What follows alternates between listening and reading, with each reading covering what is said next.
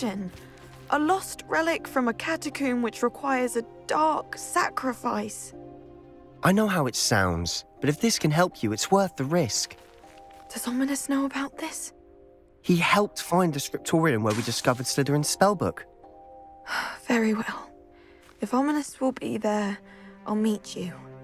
We don't have much time. Solomon wants to leave Feldcroft. What? Leave? Never mind. You need to stall him. Buy us time, Anne. Please. I shall do my best. I'll be in touch. Solomon can't take Anne from Feldcroft. Where would they go? When would I see her?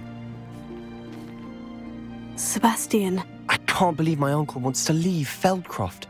Anne's going to stall him. She must. We need time. Time? For what? I've learned more about the relic. I cross-referenced Slytherin's spellbook with everything in the library on relics and dark sacrifices. That's when I realized something. I believe the relic will only work inside the catacomb.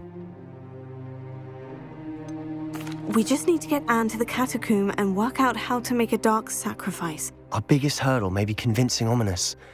And we'll only give this a chance if he's on board. And we have to keep all of this from your uncle. If he goes to the headmaster, we could be expelled. Let me handle Ominis this time. As for my uncle, he's not an Auror anymore. What he doesn't know, well, won't hurt us. Do you think your uncle would tell anyone at the ministry about all of this if he found out? If he found out, I doubt he'd go to the ministry. He didn't part ways with them well, from what I understand.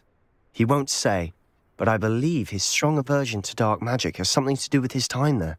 Anne thinks he once decided to fight fire with fire, so to speak, and resorted to using an unforgivable curse in fight against dark wizards.